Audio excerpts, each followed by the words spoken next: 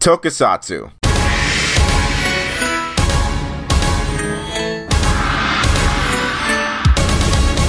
This is a Japanese term for live action film or television drama that uses a shit ton of special effects in Japan. The themes of any show that fall under this term can range from fantasy and horror to just plain science fiction. The popularization of this term started in the 1950s with the conception of the kaiju Godzilla, which now is an obvious basic household name. Ironically, Japan was influenced by America's King Kong in the very first place. This in 1954 kickstarted what's widely known as the monster boom, which featured an actor in a monster costume with miniatures to make the illusion illusion that they were actually giant. Before CG, there were practical effects, so they had to do what they had to. And for the time, it was very revolutionary, and currently now remains honestly pretty timeless. This was the standard for a while until 1957, when the first giant superhero was introduced in Japan, creatively named Supergiant. They had the whole creative team for that one, if you couldn't tell. This started what was known as the Henshin boom, which favored heroes in masks fighting their previous giant enemies or rather than fighting the giant monster themselves. For those unaware, Henshin means to transform. Shows like Kamen Rider, Astro Boy, Ultraman, Seven Color Mask, Moonlight Mask, and many other shows like that in its time changed tokusatsu forever. Though in the 70s, the most popular tokusatsu shows included Kamen Rider, Warrior of Love Rainbow Man, Super Sentai, and Spider-Man. Yeah, this was a thing and he had a giant robot. Although toku shows were really popular in Japan, the concept and art form wasn't really taken that seriously in America. Again, ironic. Fortunately though, to make a long story short, a godly man with the name of Haim Saban decided he was really fucking with Super Sentai. And after being rejected multiple, multiple times, he eventually got it Americanized and what was known as the Super Sentai Zyuranger soon got adapted into what we all know as the Mighty Mighty Morphin Power Rangers.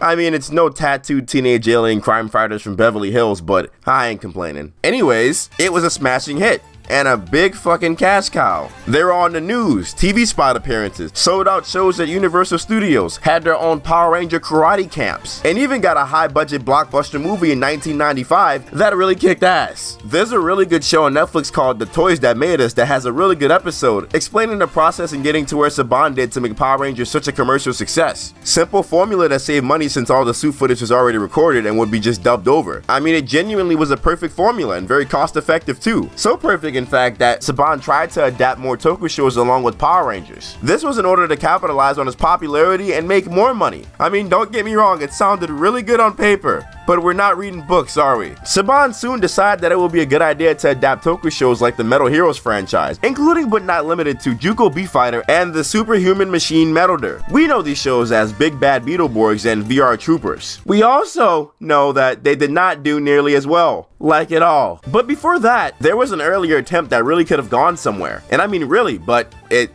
it didn't. Saban tried their hands at taking a stab at adapting a tokusatsu franchise that's known as Kamen Rider, specifically Kamen Rider Black RX, into what was adapted into what we know as Mask Rider.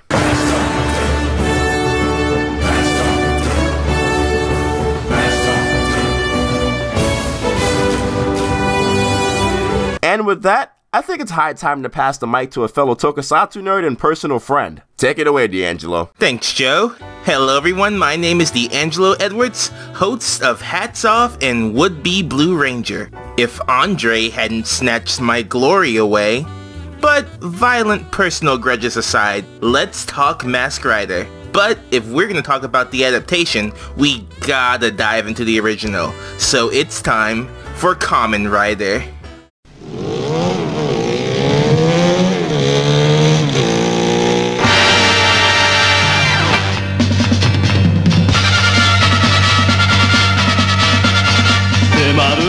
Created by Shotaro Ishinomori, who not only created Kamen Rider and Super Sentai, he also made Cyborg 009, which is my jam, and if you haven't seen the early 2000s adaptation, you need to get on that, because it is the tits. Anyway, the first Kamen Rider series was about a young man who, after being abducted by an evil organization, is transformed into a cyborg. And rather than being their weapon, he decides to use his newfound power to fight for justice. Thus began the long, and I mean long, history of Kamen Rider. Seriously, it's been going on since 1971, and it is not showing any signs of slowing down. There are dozens upon dozens of Kamen Rider series out there now, most of them using a bug motif, because in Japan bugs are like crazy popular. Which really helped to hit that prime shonen dattebayo market. So Saban would have been crazy not to take a shot at adapting it, especially after the success of Power Rangers. So Kamen Rider, or more specifically Kamen Rider Black RX, became Mask Rider, which is actually just a literal translation. Kamen means mask and rider is because almost every one of them rides a motorcycle. But Speaking of that Power Rangers success, they saw that as a perfect chance to use that success to drop a backdoor pilot to Mask Rider in the form of a three-part special episode titled A Friend in Need. This episode starts off like a normal Power Rangers episode, but Alpha seems down. It appears that the planet he was built on is under attack, which is weird because I always thought like Zordon maybe like birthed him, like out of magic, but I digress. The planet Edenoi is being enslaved by the villainous Count Dragon, and the Edenites, Edenites, I guess, are being forced into slavery, digging up poisonous gas that's slowly killing them. Which kinda defeats the point of having slaves. That's immoral and wasteful. Wanting to help out Alpha, the Rangers go to the planet and encounter a group of rebels led by Prince Dex, who has been gifted not only with the powers of the Masked Rider, but also a hefty amount of stock footage.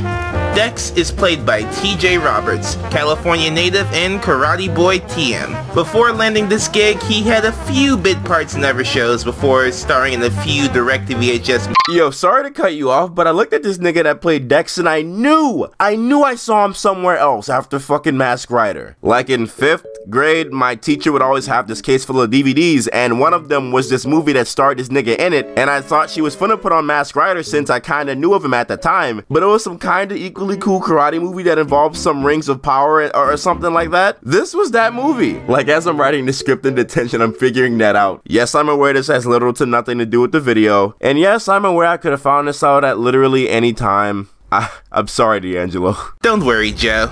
You'll pay me back. I promise. Anyway, jumping back to the episode.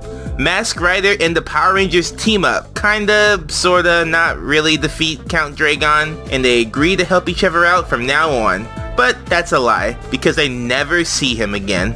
Instead of making more appearances in Power Rangers, Dex goes on to star in his own show, the appropriately named, if not uninspired, Mask Rider. Now, a few changes were made when the show came out. First off, that whole taking place in the same universe as Power Rangers?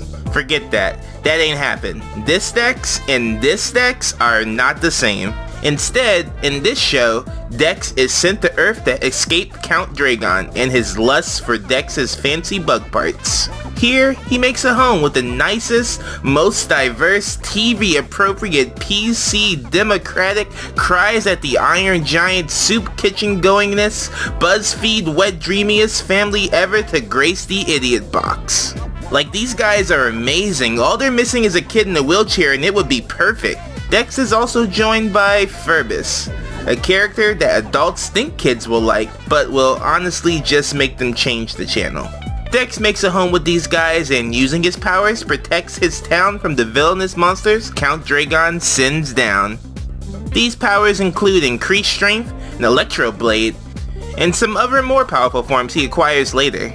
Which sounds impressive until you realize that base form Dex has the power to create anything with his mind. Like he makes a car and a motorcycle from his thoughts. And not only that, but they're sentient.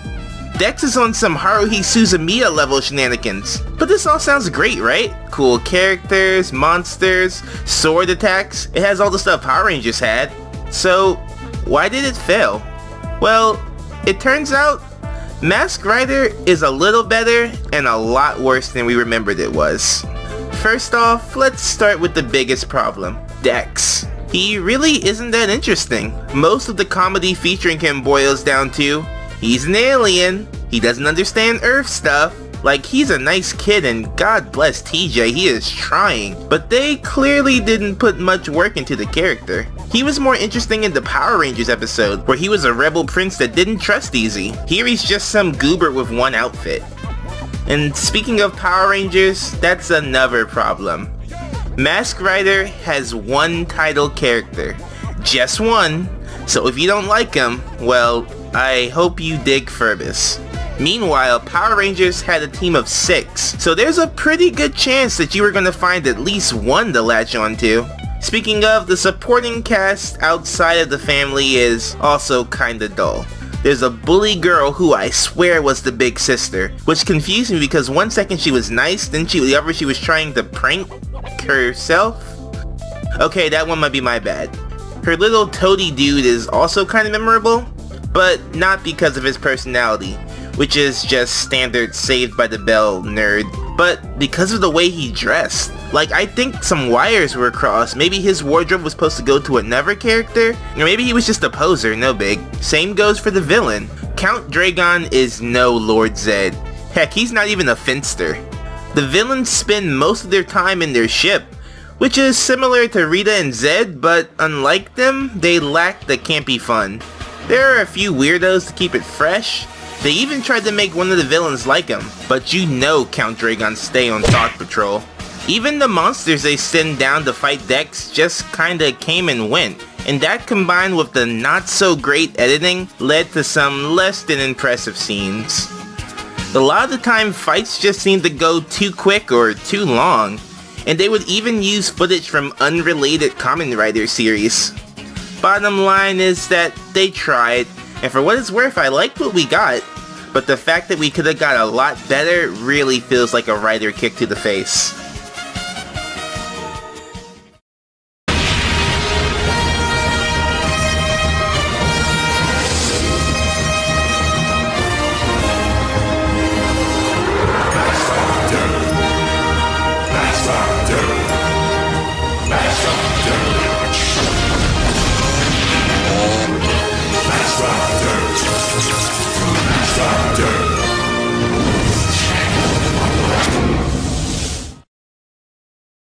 Watching Mask Rider again was quite an experience. I used to watch the two VHS tapes I had of it religiously. If the Power Ranger movie wasn't on TV, then you could bet this was. But I never understood why none of my friends really talked about it, and now I kinda get it.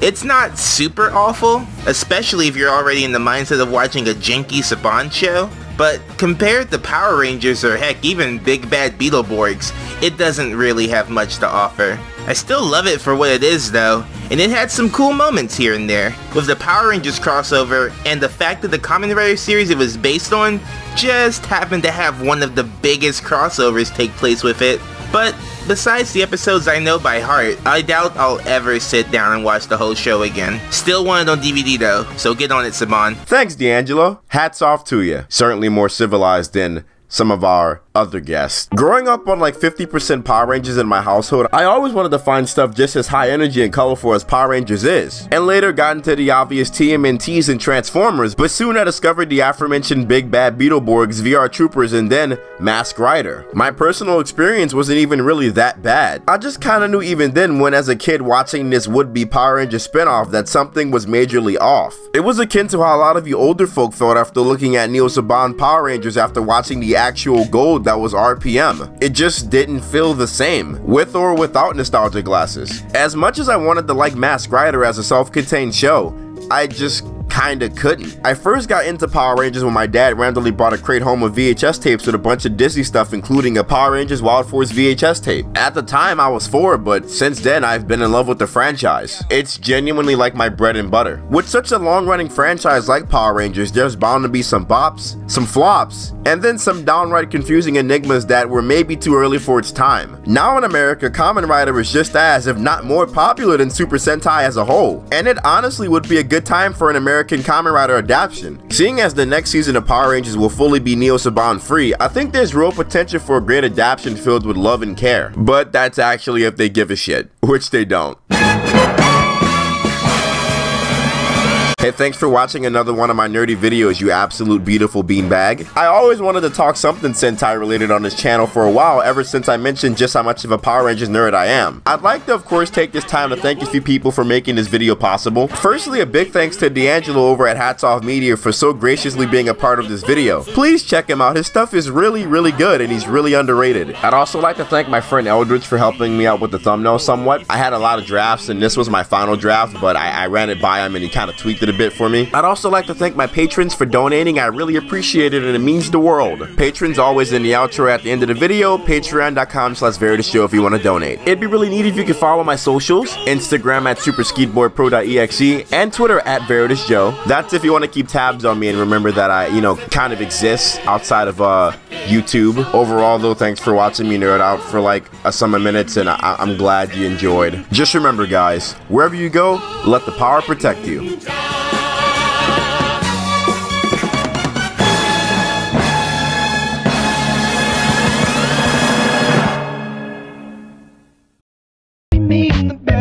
You find out why I'm fine. Sunday us last Monday night. Monday night. The liquor word something to sit down. Sit down. The rose come out of my head.